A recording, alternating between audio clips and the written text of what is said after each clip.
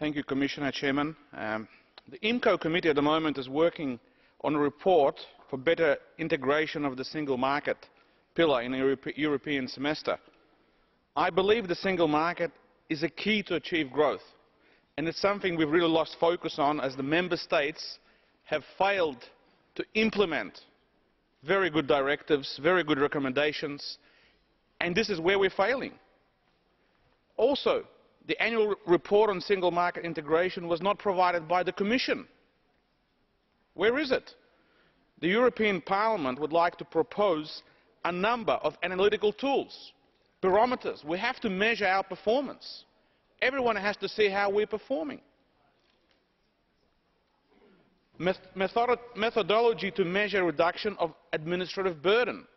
This is where we're failing. Too much red tape. It's too difficult. But let's measure it to find out what needs to be done.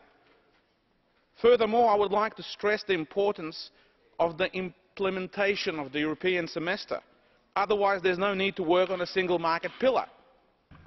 I also want to mention a crucial aspect Vielen Dank, of Herr the role Kollege of national Burgan. Parliaments.